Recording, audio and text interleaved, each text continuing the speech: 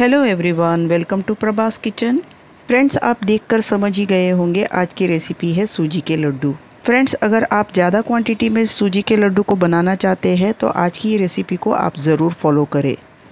सूजी के लड्डू बनाने के लिए मैंने यहाँ पर 500 ग्राम सूजी लिया है और अगर आप इसे कप से मापेंगे तो ये तीन कप सूजी है। और मैंने यहाँ पे लिया है डेढ़ सौ ग्राम घी, यानी कि यहाँ पर ये है वन थर्ड कप घी।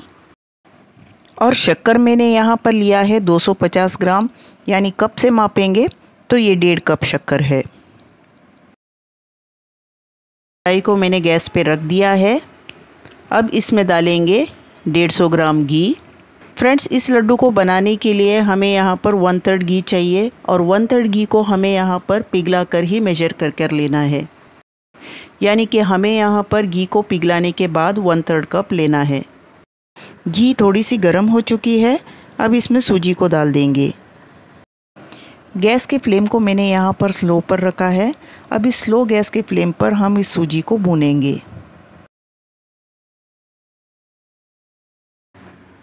इस लड्डू को बनाने के लिए मैंने यहाँ पर बारीक सूजी को यूज़ किया है। आपके पास अगर बारीक सूजी नहीं है तो आप मोटे वाले सूजी को एक बार मिक्सर में चला लें। और फिर आप उसे लड्डू बनाने के लिए यूज़ कर सकते हैं। मैंने यहाँ पर 500 ग्राम सूजी लिया है, यानी कि यहाँ पर मैंने आधा किलो सूजी लिया है, जिसे भूनने के लिए हमें करीब 15 से 18 मिनट लगेंगे। लेकिन हमें इस सूजी को भूनते वक्त गैस के फ्लेम को बहुत ही स्लो पर रखकर पेशेंस के साथ ही भूनना है। यहाँ पर अगर हमने गैस के फ्लेम को मीडियम हाई फ्लेम पर भी रखकर इस सूजी को भून लिया तो ये सूजी जो है जल सकती है। जिससे लड्डू खाने में टेस्टी नहीं लगेंगे। गैस के फ्लेम को हाई पर रखने से सूजी ऊपर ऊपर से तो भुन जाती है, लेकिन ये पूरी तरह से भुनती नहीं है।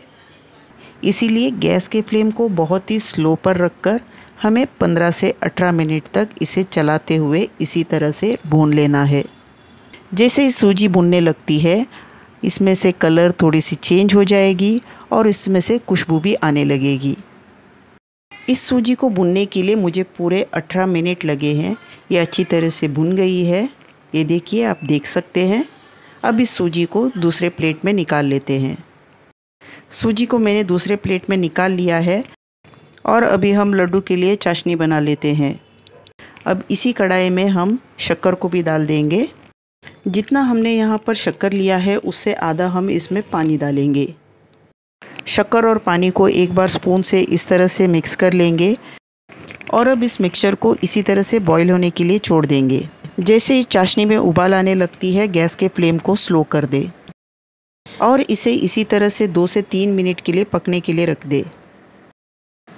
हमें इस लड्डू को बनाने के लिए एक तार की चाशनी चाहिए।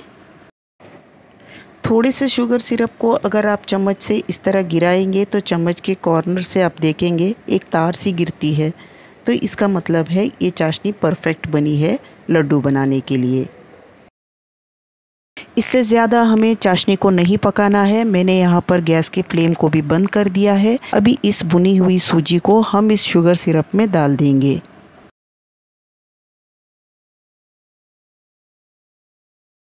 सूजी को शुगर सिरप में डालने के बाद अच्छी तरह से मिक्स कर लेंगे। फ्रेंड्स, अभी आपको ये मिक्सचर काफ़ी गीली लग रही है। लेकिन जैसे ही ये मिक्सचर थोड़ी सी ठंडी हो जाती है, हम इससे लड्डू बना सकेंगे। अब इस वक्त इस मिक्सचर में हम इलायची को भी डाल देंगे और एक बार फिर इन सबको अच्छी तरह से मिक्स कर लेंगे। इस तरह से इस मिक्सचर को रख देने से सूजी जो है सारे शुगर सिरप को एब्ज़ॉर्ब कर लेगी और ये मिक्सचर थोड़ी सी ठंडी भी हो जाएगी, जिससे कि हम आसानी से इसे लड्डू बना सकेंगे। एक घंटे हो चुके हैं मिक्सचर अभी थोड़ी सी ठंडी हो चुकी है। फ्रेंड्स यहाँ पर आप ध्यान रखें मिक्सचर को पूरी तरह से ठंडा ना करें। पूरी तरह से ठंडी होने पर आप इससे लड्डू नहीं बना सकेंगे। जब भी मिक्सर हल्का सा गर्म हो, उसी वक्त हमें इससे लड्डू बना लेना है। अभी हम इससे लड्डू बनाएँगे। ये देखिए कितने आसानी से हम इससे लड्डू बना सकते हैं। आप अपने मनपसंद के किसी भी ड्राई फ्रूट्स को डालकर इस लड्डू को बना सकते हैं।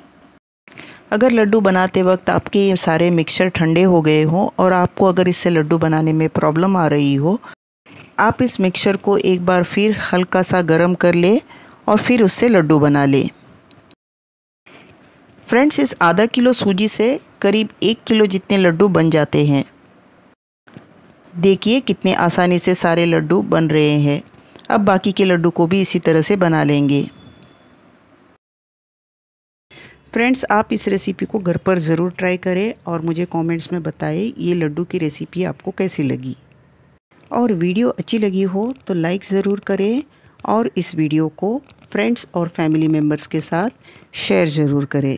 और फ्रेंड्स अगर आपने अभी तक मेरे चैनल को सब्सक्राइब नहीं किया है और अगर आप मेरे चैनल पर नए हैं तो स्क्रीन में दिख रहे बेल आइकन को प्रेस करके चैनल को सब्सक्राइब कर ले। इससे आपको मेरी सारी वीडियो की नोटिफिकेशन मिलती रहेगी।